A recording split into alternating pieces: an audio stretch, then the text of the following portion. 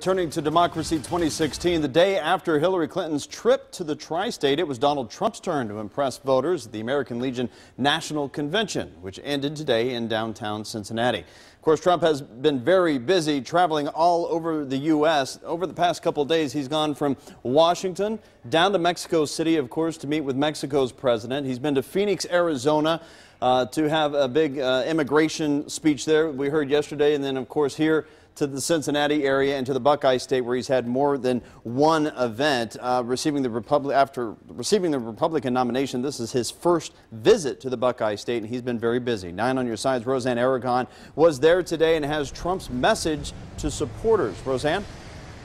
That's right, Craig. Trump had a standing ovation despite being 20 minutes late. Some even said that his welcome was warmer than when Hillary Clinton came just yesterday. Peace through strength. Pursue a state of the art missile defense.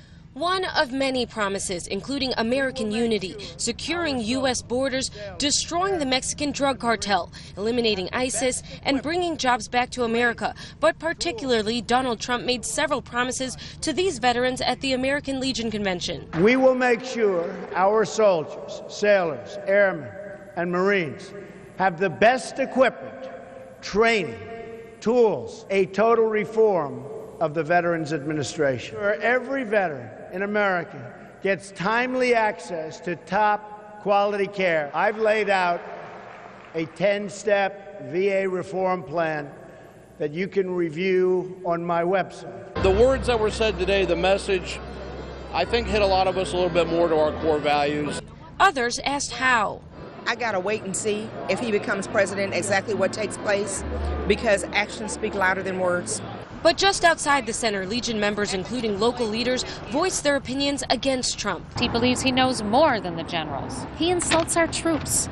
He scams our veterans. He doesn't understand the definition of service. He's unfit to lead. The Clinton campaign responded, calling his words empty and his plans costly, reckless, and irresponsible. Now, Trump made one more visit in Wilmington, and our Jay Warren has that covered for you at 6. Reporting live, Roseanne Aragon, 9 on your side.